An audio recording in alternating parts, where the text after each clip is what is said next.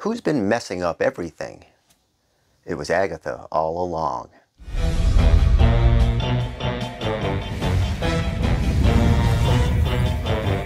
Who's been messing up everything? It's been Agatha all along. Who's been pulling every evil string?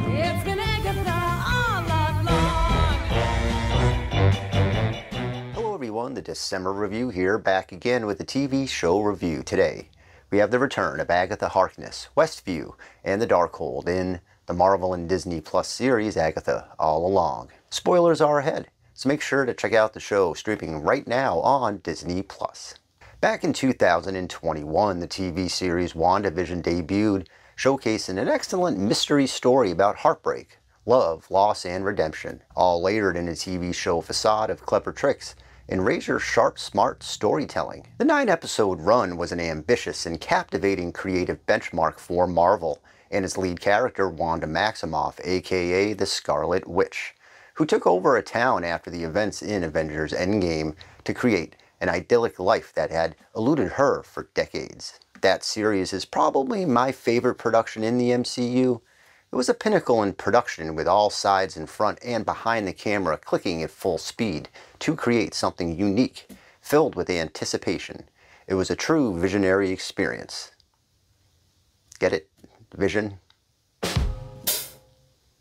Kathryn Hahn played Agatha Harkness, the neighbor and friend of Wanda who seemingly was along for the ride in her takeover of the town. But it turns out that Agatha wasn't just some random person. Oh no, she was herself a powerful witch who was just playing along, waiting for the chance to defeat the Scarlet Witch and take all of her power. But she was defeated, losing her mojo instead and banished to a plain life in Westview for eternity. So here we are in the present day, three years later, and when a mystery body shows up in town, one that may or may not be Wanda Maximoff, with the help of a random person, Agatha breaks free from her curse and begins the journey back to her true witch self. The first two episodes of the new series are out now, with another total of nine ready to roll out every Wednesday leading up to Halloween. I wasn't exactly sure what to expect with Agatha all along.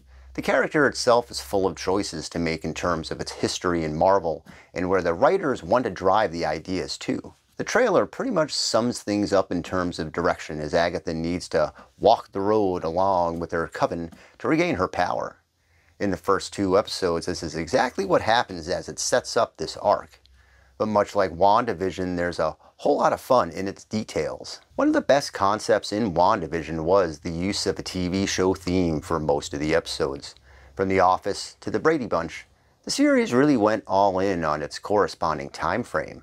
In Agatha Episode 1, much to my surprise, this concept continues, as Agatha is a hotshot detective in Westview who is looking into a case that, again, may or may not be Wanda. The episode plays it lean and mean in its delivery, mimicking its crime show surroundings and allowing Hahn to chew the dialogue up with glee and misery. And as we return to Westview, the reality this time is flipped. Before it was our lead who turned the townsfolk over without their knowledge, and here it's Agatha who doesn't know that she's stuck, but the residents are all well aware of it. Enter Aubrey Plaza who plays Rio, a character seemingly assigned to the Wanda case, but in reality is also a witch who knows Agatha and wants to take her out. Someone attempts to break into Agatha's home, things start to get a bit more clear. This stranger knows all about Agatha and wants to take the next step in gaining power. He unlocks her curse, setting her free from Westview, and the road begins. Well, sort of. She needs a coven and needs one quickly because the Salem Seven, who Agatha messed with decades ago, is about to strike. So in episode 2, that coven is assembled, and now the road can officially begin. There's a whole lot to like in this new series so far. First and foremost is its lead. Kathryn Hahn picks right up as the evil witch, but not losing a bit of charm and tenacity. From a comedic standpoint, Hahn is downright hilarious here with excellent one-liners and timing. Her deadpan delivery and facial expressions are pure entertainment. Add to it the excellent chemistry that she has with Plaza in their limited screen time together so far. They have a past, and for now it seems they are enemies, but I have a feeling this may flip as the show gets rolling along. For her coven, we are introduced to three new characters and one returning from Westview.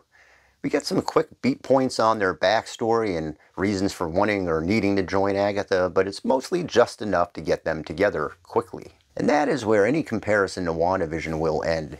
This is its own series, but it's also a continuation, so some comparison is expected. And WandaVision mastered the fine art of the slow burn. There was enough in each episode to keep things moving along, but its secret was being able to create a cliffhanger mystery in every single episode. One where fans all over the world had wild ideas and concepts about who or what was really going on.